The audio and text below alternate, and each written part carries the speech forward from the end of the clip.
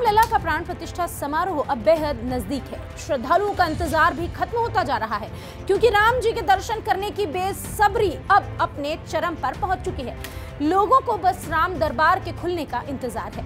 राम लला के विराजित होने से पहले अब राम की मूर्ति का भी जो चयन था, ये जो प्रक्रिया थी, इसे भी पूरा कर लिया गया है। यानी कि राम जी की मूर्ति भी चुन ली गई है। और अब रामलला के जलाभिषेक के लिए काशी से एक बेहद सुनहरा घड़ा मंगवाया जा रहा है। जी हाँ अब राम मूर्ति के बाद ये भव्य घड़ा भी श्री राम की मूर्ति पर जलाभिषेक के लिए मंगवाया गया है। दरअसल रामलला की प्राण प्रतिष्ठा के पहले ही काशी और अयोध्या का अटूट नाता दिखाई दे रहा है। काशी से अब एक व्हाइट मेटल जिसे जर्मन सिल्वर कहते हैं, उसे सहस्त्र छिद्र, जलाभिषेक घड़े को भी अब तैयार कर लिया गया है, जिससे प्राण प्रतिष्ठा के दौरान रामलला का जलाभिषेक होगा। जी हाँ ये भव्य घड़ा खासतौर पर काशी से मंगवाया गया है। 1008 छिद्रों वाले इस घड़े को भी काशी के हुनरमंद कारीगरों ने बड़ी मशक्कत के साथ तैयार किया। इसके अलावा 121 पुजारियों के लिए 125 सेट पूजन पात्र भी तैयार कर लिए गए हैं। हर एक सेट कमंडल या लुटिया आचमनी और छोटी तश्तरी को भी तैयार करके फिनिशिंग की जा रही है। गौरतलब है कि काशी की तंग गलियाँ पूरी दुनिया में जानी जाती है। उन्हीं तंग गलियों में एक से बढ़कर एक कलाकार बैठे हैं, जिनके हुनर का लोहा पूरी दुनिया में माना जाता है। बता दें, इलाके में व्हाइट मेटल यानी कि जर्मन सिल्वर के आर्टिस्ट लालू कसेरा भी रहते हैं, जो कि अपनी पांचवी पीढ़ी में इस परंपरा को आगे बढ़ा रहे हैं।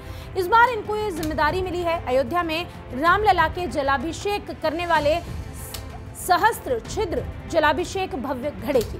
लालू कशेरा ने अपने इस कलाकारी पर, या यूँ कहें कि इस घड़े के निर्माण पर बताया कि व्हाइट मेटल को तराश कर बनाया गया है, फिर इसमें 1008 छिद्र मशीन के ज़रिए किए गए हैं। ये घड़ा रामलला के जलाभिषेक के लिए सिर्फ़ एक पीस ही तैयार हुआ है।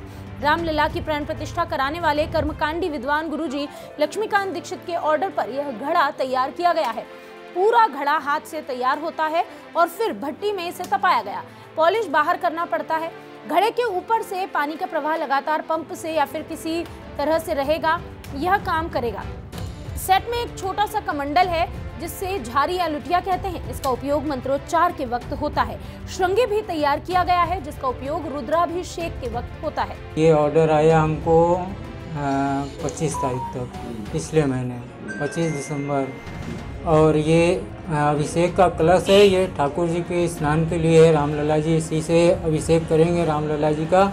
और इसमें एक हज़ार आठ छेदा है, जिससे कि अभिषेक में बोलने में ब्राह्मण को सुविधा होती है।